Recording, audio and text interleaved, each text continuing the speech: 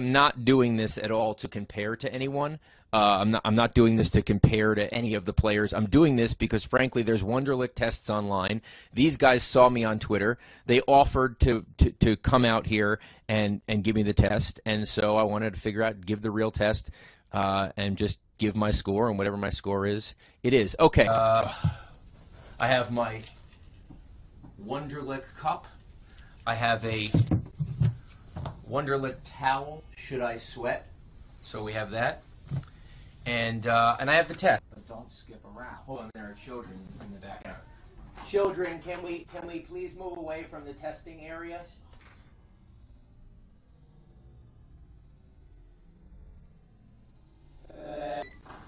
This happens all the time at the time. Uh, we, yeah, the, the, children is an extenuating factor here. That uh, that should I get a exceedingly low score, uh, that's what I'll blame it on. Okay, I'm gonna I'm gonna answer the sample questions here.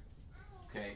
All right, I got all three. I got, it looks like I got all three correct, and I know you're going to say that the answers are on there, but don't open it. okay, I'm not opening it. I'm not opening it. I'm not opening. what it. I, what I noticed is you didn't write the answers in the bracket. Oh, I did not. You're So right, you yeah. would not get credit for None of those. those- Right. Okay. Okay. Uh, hold on. Go exactly 12 minutes. I'll give you a one minute warning at the end. So 11 minutes in. So tell me when you're ready, and I'll instruct you to start.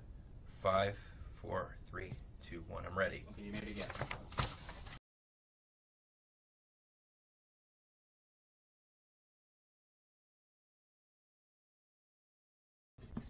Okay, stop. Put your pencil down. Your scrap paper inside the test booklet and close it. Is it fun? I answered about 40, 40, 41 questions, so that's the highest I was going to get. Uh, man, I, I I do I know I know I'm a sports business reporter, but I need to bone up on my math. I uh, I had some problem with division. Uh, I, uh, I I I will reveal something. I did walk out of my SAT the first time I took it. Something flustered me, and I walked home. And my mom, I showed up at the door. My mom said, "What's going on?" I said, "You have the score ready or no?"